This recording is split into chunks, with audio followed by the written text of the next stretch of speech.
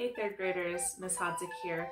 I just wanted to make a quick video um, to give a little bit of technique for recorders.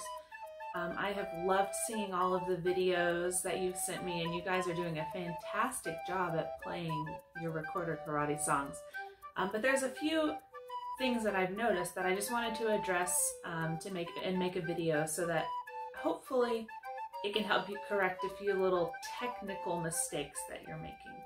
One of the biggest things that I'm seeing is not using your tongue to start a new note.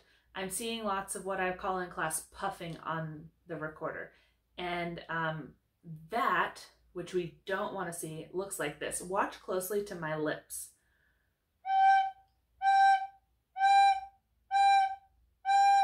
If you notice, each time that I played a new note, my lips came off of the recorder. Um, and I was just going to play a new note.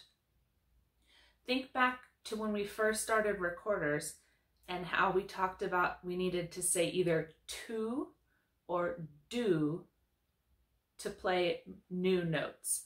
Um, so I want you to practice First, have an invisible recorder and just blow a steady stream of air.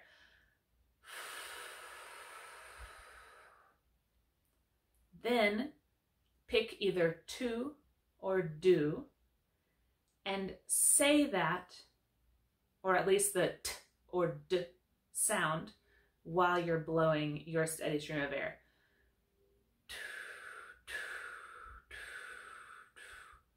If you notice, my lips don't move a whole lot.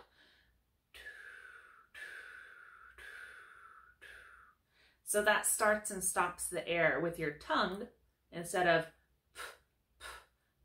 because if you're doing the puffing and taking a breath in between every single note, you might like get really dizzy and lightheaded. Um, and when you use your tongue saying t or d for the notes, it creates a more fluid sound. Um, so I'm going to play hot cross buns since we know it and give you the two examples. So here is the example we don't want.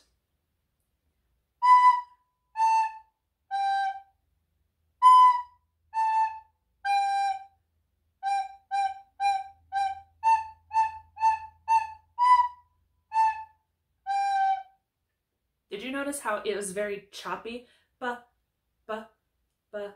Now listen to the example when I'm using my tongue to create the different notes. Um, and this is what we do want to hear.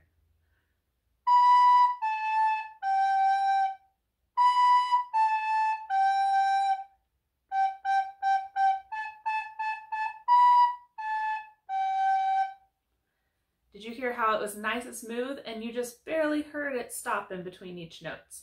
When we're using our tongue, you can actually make it go really, really fast until you can get all sorts of things like